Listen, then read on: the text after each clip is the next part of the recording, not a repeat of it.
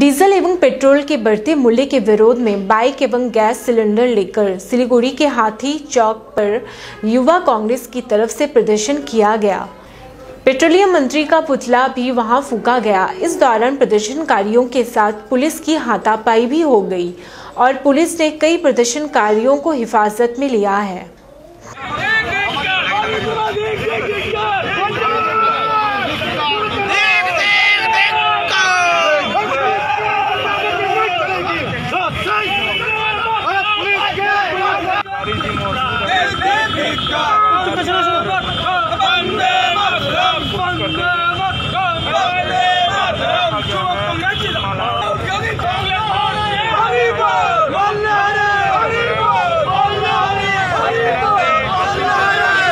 मोदी जी ने कर दिया उस देश के हालत हमारे देश में अराजकता ला दिया गया पेट्रोल पंप बिक्री हो जा रहा है, रेलवे बिक्री हो जा रहा है एल बिक्री हो जा रहा है।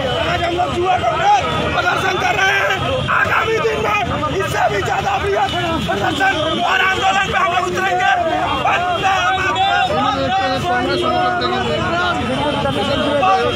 मातरम। वंदे मातरम। वंदे मातरम।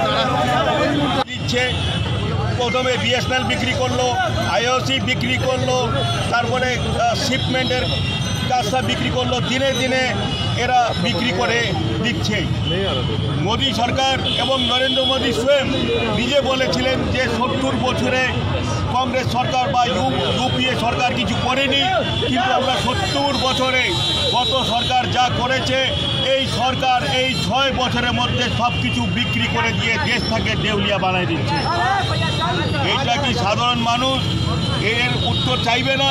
আজকে নরেন্দ্র মোদী সরকার কোনোদিন প্রেসের সামনে এসে মুখ খোলে না কেন? উনার এত ভয় কিসের? আমি চাই উনারা আসুক, সাধারণ মানুষের সামনে এসে প্রেসকে বলুন, উনি খালি ঘরে ভেতরে ঘরবন্দি হয়ে প্রেসকে সম্বোধনা করেন। কেন করেন উনি? উনি আসুক, আমরা তো বলি, পৃথিবীতে সবচেয়ে ভীতু, যদি কেউ প্রধানমন্ত্রী হয়ে থাকে, তার নাম নরেন্দ্র ফেকু মোদী। আজ কুশপুতুল পুরাতে দেওয়া হলো না। পরিবর্তে দেখা গেল আপনাদেরই কর্মী সমর্থক যারা রয়েছে আমরা তাদেরকে গ্রেপ্তার করে নিয়ে যাওয়া হলো। কি বলবেন? আমরা শান্তশিষ্টভাবে এই প্রোগ্রামটা করব কিন্তু প্রশাসনের তরফ থেকে আমাদেরকে বাধা দেয়। আমাদের কিছু যুবক নেতাদেরকে তুলে নিয়ে অ্যারেস্ট করা হয় এবং জবরদস্তি করে তোলা হয়। এবং আমরা চাই যে দিদি মোদি আমরা জানি যে দিদি মোদি একই আছে এতে কোনো দুই মত নেই।